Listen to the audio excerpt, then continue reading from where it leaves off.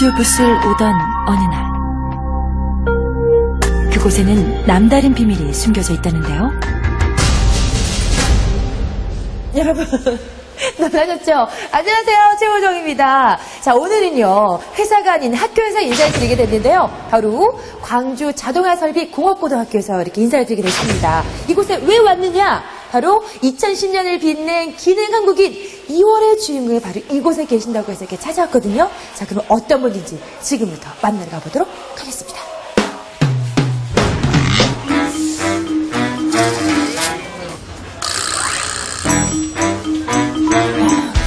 아직 수업 시간 전인 것 같은데요. 일단 어떤 수업인지 제가 직접 들어봐야 할 거 아니겠습니까? 일단 한번 들어가 보도록 하겠습니다. 아, 일단 수업 중에 의외가 들어오긴 했는데 어, 우리 학생들 지금 너무 열중하고 있는 이런 모습인 것 같은데 안녕하세요. 안녕하세요. 네. 아니, 오늘 제가 이곳에 특강이 있다고 해서 이렇게 들어왔거든요. 네. 오늘 특강해 주 선생님, 어떤 선생님이세요? 네, 김보건 기능한국인 팀. 오, 김보건 기능한국이 맞아요? 네. 야 제대로 찾았습니다. 일단 수업 중에 올렸으니까 여기 앉아서 저도 우리 학생들과 함께 좀 수업을 들어보도록 하겠습니다. 일단 뭐 비슷하니까 전 학생 같으니까 들어보도록 하겠습니다. 안녕하세요.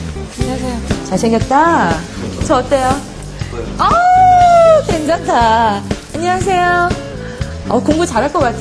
몇 등이에요, 반에서? 원하는 질문? 1등 안에 1등? 그래서 오랜만에 교과서를 펼쳐보기도 했는데요. 이런 거 공부하나 봐.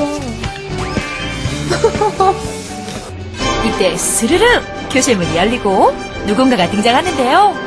과연 2월의 기능 한 국인 김보건 대표님이 맞을까요? 안녕하세요. 선생님, 저 질문이 있는데요. 혹시 선생님께서요, 2010년을 빛낸 2월의 기능 한국인 주인공 김보건 대표님 맞으신가요? 아, 맞습니다.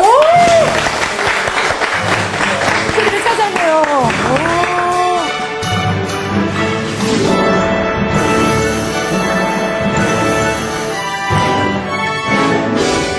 광주광역시에 위치한 DK 산업. 이곳이 바로 김보곤 대표가 운영하는 회사인데요. 철판을 찍어 가공해서 철제 부품을 만들어내는 DK 산업에선 가전제품들의 부품을 생산해 무려 700억의 연간 매출액을 올리고 있다고 합니다. 이 같은 성공 뒤엔 김보곤 대표만의 인생 역경과 남다른 경영 방침이 감춰져 있다고 합니다. 1975년 김보곤 대표는 전남기계 공고에 진학하게 됩니다. 우수한 성적을 자랑하던 학생이었지만 끼니조차 때우기 힘들 정도로 어려운 가정 형편에 맘 편히 학교를 나가는 것조차 힘든 상황이었다고 합니다. 지금 생각하니까 뭐 지금 이제 편하게 얘기하지만 그때 상황이 상당히 절박하기도 하고 결국 김보건 대표는 학교에 자퇴서를 제출하고 심각한 방한기를 보냈다는데요. 이때 그의 상황을 누구보다 가슴 아파하고 안타까워하던 담임 선생님의 따뜻한 배려와 진심 어린 설득이 아니었다면 지금의 김보건 대표가 없었을 거라고 합니다. 결국 김보건 대표는 다시 학교로 돌아와 무사히 학업을 마칠 수 있었다고 하는데요. 살아오면서 부모님에 대한 영향도 컸지만 또 선생님에 대한 영향도 좀 컸었고 또 그런 부분이 이제 결론적으로는 이제 저를 오늘에 있기까지 어떤 생각의 바탕이 되지 않았나 그런 생각을 한번 해봅니다. 고등학교 3학년이 되던 해 대우중공업에 실습생으로 나가게 된 김보근 대표. 이곳에서 그는 근면성과 성실함을 인정받아 졸업 후에 바로 취직을 하게 됩니다. 내가 또 뭔가 저 세계적인 어떤 걸 공부를 해서 어, 사회적으로 어떤 인정받는 어떤 존재가 좀 돼야 되지 않겠나.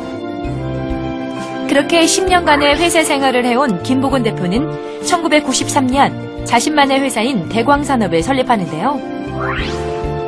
빌린 부지에 외상으로 산 중고 기계로 시작하게 된 작고 힘든 출발이었지만 어려운 현실을 헤쳐나가는 데서 온 뿌듯함과 성취감만은 이루 말할 수 없었다고 합니다. 그리고 반드시 성공할 거라는 굳은 다짐을 되새기게 됐다는데요.